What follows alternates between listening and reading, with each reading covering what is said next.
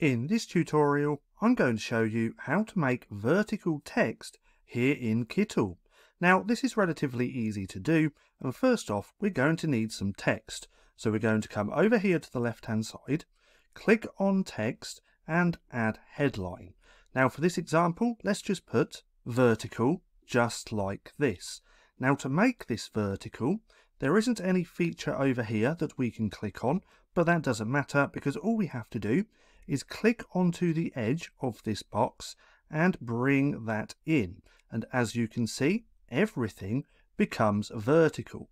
Now we still have all the text settings over here which we can play around with, with changing fonts, the style of font as well as in the font weight, and a few other things as well. Now for this example, let's go ahead and make this bigger, like so. Then, what we now want to do is bring these gaps closer together.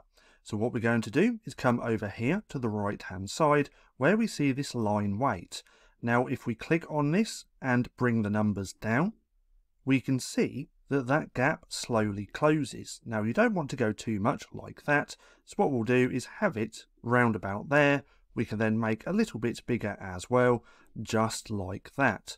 But that's just how easy it is to create vertical text here in Kittl.